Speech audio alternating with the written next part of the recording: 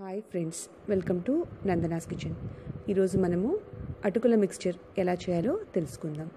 ముందుగా స్టవ్ మీద ఒక గిన్నె పెట్టుకొని దానిలో రెండు కప్పుల అటుకుల్ని వేసి ఒక నిమిషం పాటు బాగా వేయించుకోండి. ఒక నిమిషం పాటు అటుకులు వేయించిన తర్వాత దీనిని పక్కన పెట్టేసుకోండి. ఇప్పుడు అదే గిన్నెలో ఐదారు టీ స్పూన్ల నూనెని వేసి నూనెని వేడెక్కనివ్వండి.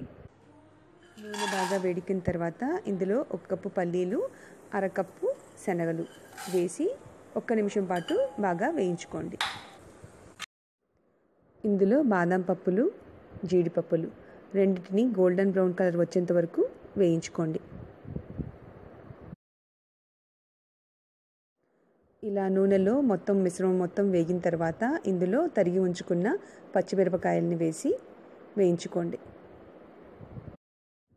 పచ్చిమిరపకాయలు వేగిన తర్వాత ఇందులో రెండు కరివేపాకు రెమ్మల్ని వేసి రెండు నిమిషాల పాటు వేయించుకోండి.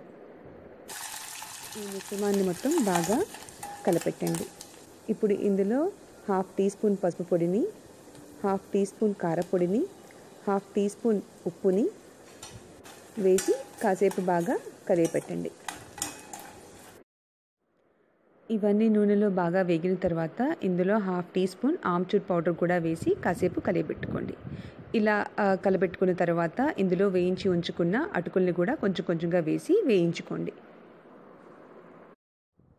వీటన్నిటినీ కూడా సన్నమంట మీదే వేయించుకోండి. ఎక్కువసేపు వేయించుకున్నట్టయితే అటుకులన్నీ ఎక్కువ గట్టిపడిపోతాయి. సో ఒక నిమిషం పాటు మాత్రమే వేయించుకోండి. అంతేనండి. అటుకుల మిక్స్చర్ అనేది రెడీ అయిపోయింది. మీరు కూడా ఓసారి ట్రై చేసి ఎలా వచ్చిందో కామెంట్ రూపంలో తెలపండి. మీకు కనుక ఈ వీడియో నచ్చినట్టయితే సబ్స్క్రైబ్ చేసి లైక్ చేసి షేర్ చేయండి. Thank you friends thanks for watching